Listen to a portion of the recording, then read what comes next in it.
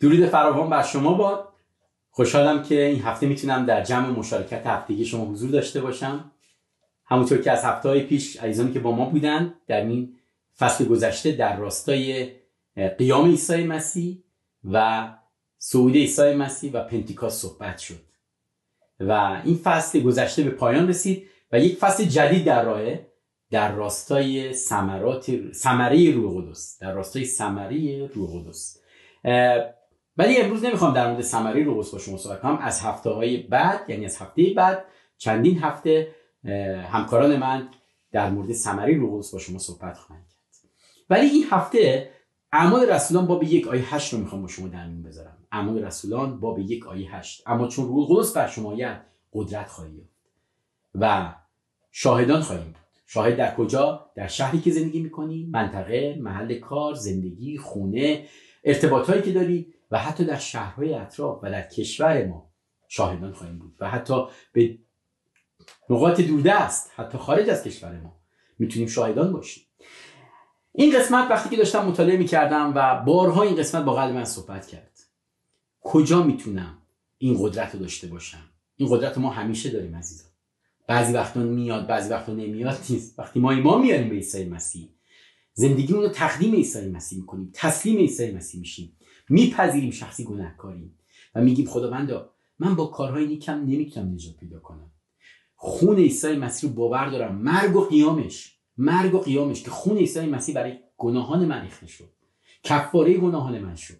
پدر که پسر رو فرستاد که به خاطر من و شما روی صلیب مصلوب بشه بمیره و بعد از سه روز بخواد برخواست از گناهان ما رو باور می‌کنیم و زندگیمون تقدیم اون می‌کنیم و حاضر میشیم پیرو عیسی بشیم. حاضریم از او اطاعت کنیم و تسلیم او بشیم. از اون لحظه که ایمان میاریم روح خدا در من و شما ساکن میشه. همون روح خدا که یکی از تسلیس پدر پسر روح قدس سه شخص. یکی از این شخص ها روح قدسه یکی از شخصیت ها پس فقط یک نیرو نیست بلکه یک شخص که در من و شما ساکن شده و اون روح قدسه.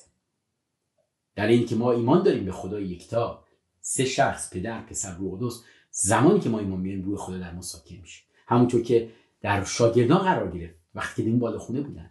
وعده عیسی قبل از که برید و گفته بود که این قدرت میاد که شاهد من باشید.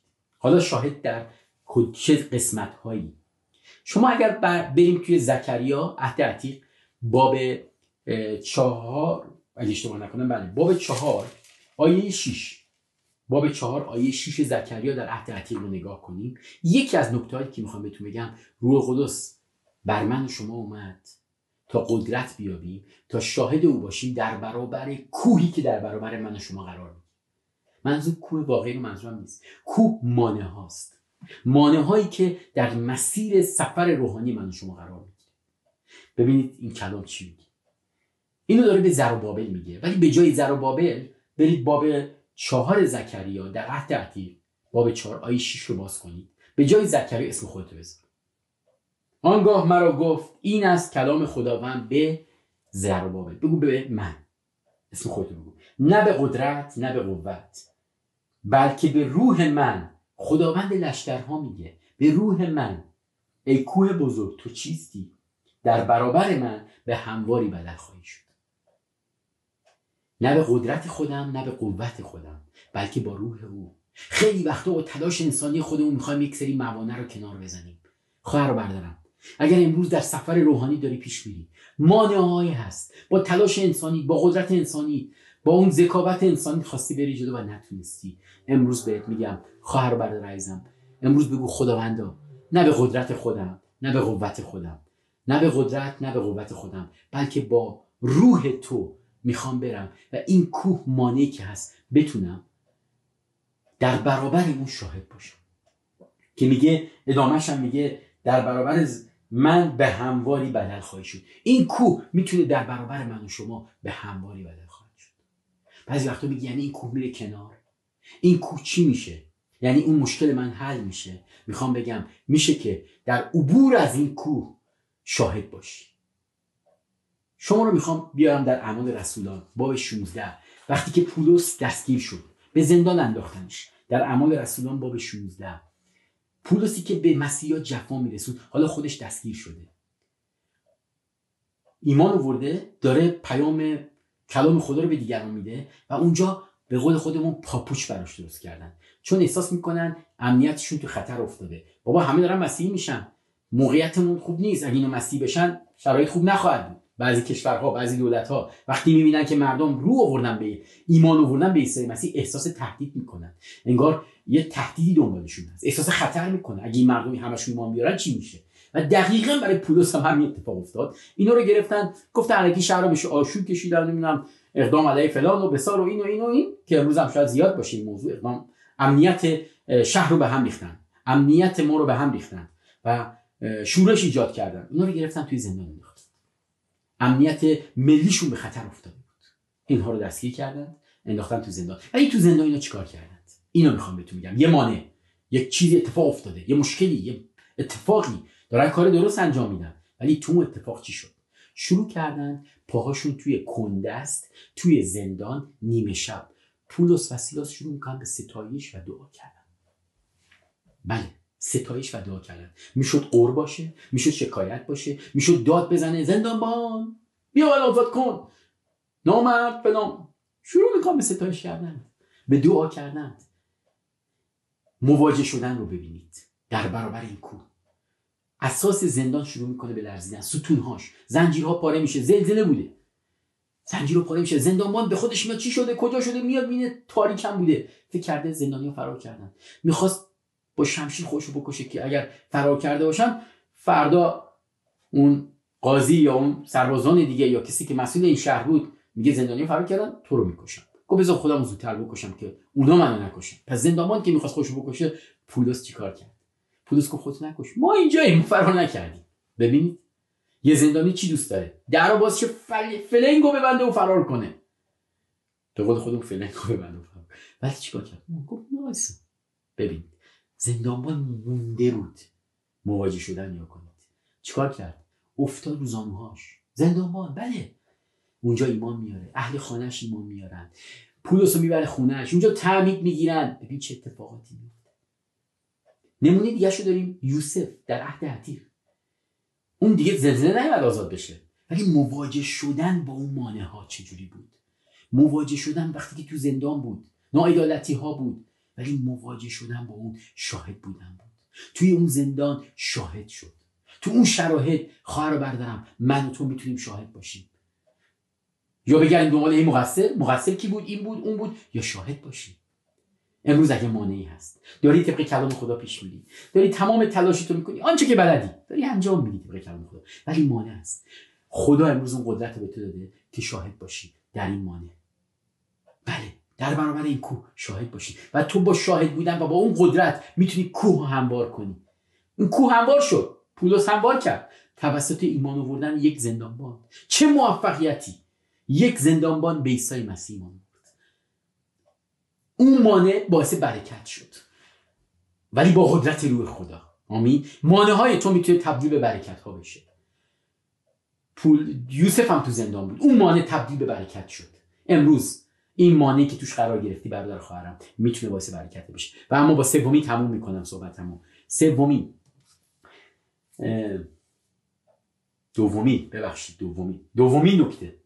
دومی نکته یا شهادتی که بخوایم تو اون قدرت شهادت باشیم وقتی که ما اطاعت می‌کنیم در جایی که اطاعت کردن سخته. پتروس کسی که عیسی مسیح این کار کرد. چه شخص ضعیفی نه؟ شاید امروز بگی با من خیلی ضعیفم. ولی اونی که ضعیفه در خدا قوی هست. امروز می‌تونی بگی بله من ضعیفم ولی با قدرت روح خدا من قوی هستم. در اعمال رسولان اگر برید باب پنج رو نگاه کنید آیه 18 ببینید پتروس چیکار می‌کنه. در باب پنج آیه 18 پتروس ساکت نتونست بمونه. روی خدا اومده قدرت اومده توی جفا. بعضی وقتا بعضی شهرها کشورها می‌گیرن میبندن دستگیری می‌کنن بعضی میگن دیگه اونجا نمیشه بشارت داد. تو وسط جفا و آزار تو چش مردم نگاه می‌کنن چش اون کسایی که میگن بشارت نده ببینید چی میگه. همون کاهنان همون فریسیایی که چند ماه قبل عیسی رو مصلوب کردن. نه چند سال بعد چند ماه قبل. حالا عیسی مصلوب شده قیام کرده بعدم به آسمان رفت.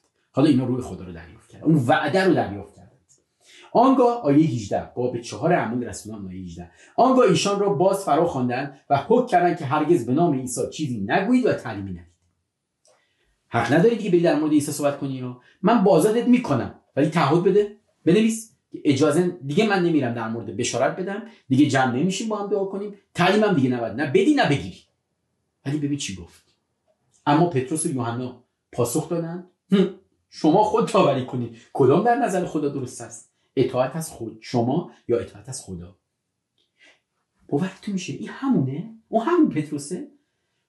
بله همونه. با قدرت روی خدا شاهد شد در اطاعت کردند خیلی نه؟ امروز من و شما وقتی کلام خدا رو می‌خونیم یه جا قرار می‌گیریم. یه دروغ بگم خیلی پول میاد سمتم. یه قرارداد ولی توش یه دروغی بگم. نه من حقیقت رو میگم. چون می‌خوام کلام خدا رو زندگی کنم. اونجایی که اطاعت کردن راحت نیست. این قدرت به من و شما داده میشه تا شاهد باشیم در اطاعت کردن. وقتی من دستگیر کردم و به زندان رفتم من همسرم. به خاطر ایمانمون به عیسی مسیح و بشارت دادن تعلیم دادن تاسیس کلیسا رفتیم اونجا به من یه چیزی گفت. چند هفته گذشت چند وقت گذشت گفت ببین من راحت می‌تونم تو رو آزاد کنم. با یه نوشتن با یه امضا. تو فقط بپذیر که دیگه مسلمان شدی. تو بگو که مسلمان شدی. تو اینجا بنویس یه زبونی بگو. من قبول می‌کنم. گفتم من راهم پیدا کردم. بهش گفتم ببین امکان نداره. می‌دونی چرا؟ چون من چشیدم. من لمس کردم. من اگه برگردم به گذشتم اتفاقا بدتر از هر کسی میشم. عیسی منو تبدیل کرد. من به تو پیشنهاد می‌کنم. نگفتم تو گفتم شما. من به شما پیشنهاد می‌کنم. منظور بازجویه بود. شما برو انجیل رو بخون. شما امشب میری خونه از خدا بخواد حقیقت رو بهت نشون بده. من راهم پیدا کردم. و امروز می‌خوام بگم این قدرت من نبود. قدرت روی خدا بود که به من اونجا قدرت داد تا بتونم اطاعت کنم کلام خدا رو تا بتونم روی ایمانم بیستم.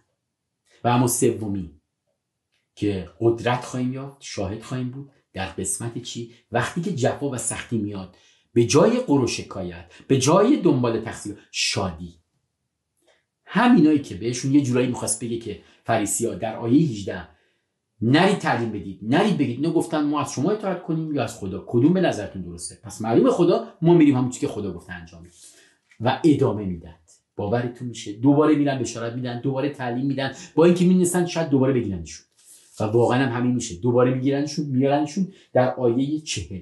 همین باب پنج اعمال رسولان همین شاگردا دوباره می‌گیرن. پس معتقد شدن رسولان رو فرا خوانده تازیانه زده و من کردن که دیگر به نام عیسی سخنی نگویند. مشکلش این بود که نگید نگید در مورد عیسی. چون همینطور مردم داشتن ایمان میوردن همین اتفاقی که تو ایران داره میفته همینطور مردم دارن ایمان میورن و من کردن چیکار کردن؟ تازیانه زدنشون. شلاقشون زدن خوابوندنشون حسابی بهشون شلاق زدن و گفتن دیگه نرید صحبت کنید. حالا ببینیم مواجه شدنشون چی بود. این قدرت شاهد بودن رو اینجا دقت کنید. رسولان شادی کنان شادی کنان دارن میگن خدا ما رفتیم. یا خدافظی اگه نکردن شادی کنان حالا شلاق خوردن شادی کنان دارن میگن. آیا این شاهد بودن نیست؟ شاهد بودن قدرتی که خدا داد تا شاهد باشن. در کدوم قسمت؟ در اینکه اینو میگن. زیرا شایسته شمرده شده بودند که به خاطر آن نام یعنی نام عیسی مسیح اهانت میشن. شلاق خوردن ولی شادن. امروز خواهر بردارم. این قدرت به من و شما داده شد.